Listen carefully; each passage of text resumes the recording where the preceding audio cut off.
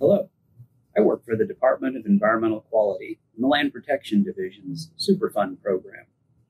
We clean up land around Oklahoma that has been polluted with hazardous chemicals from old refineries or industries. We turn them from sites like this to clean, reusable sites like this.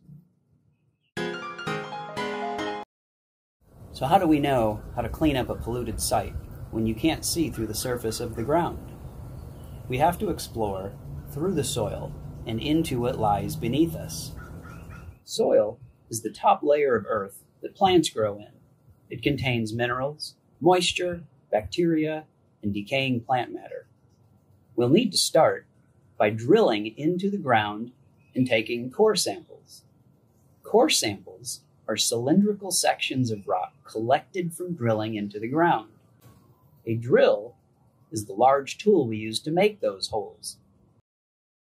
The core samples are then extracted and brought to the surface, where they are measured, examined, and described, so we know what layers of rock are at what depths. These layers of rock are called horizons.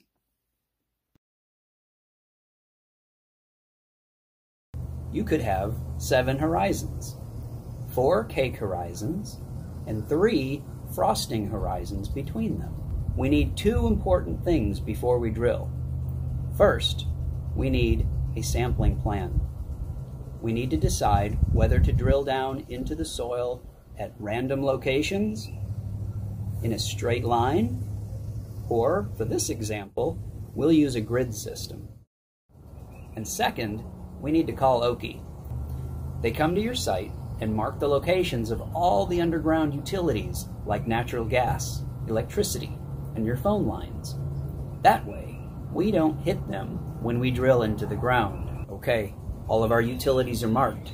It's time to start drilling. I think I better get my safety gear on. Okay, we've got our safety equipment, we called Okie, and we have a sampling plan. So, let's visit our site and begin drilling to discover what horizons lay beneath us. Bring the drilling equipment.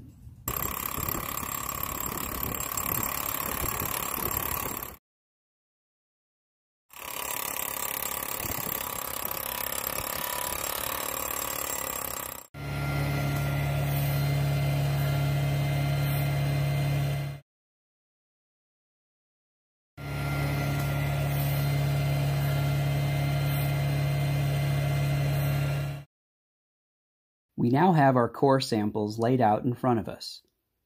Now we describe the core samples we extracted from the Earth.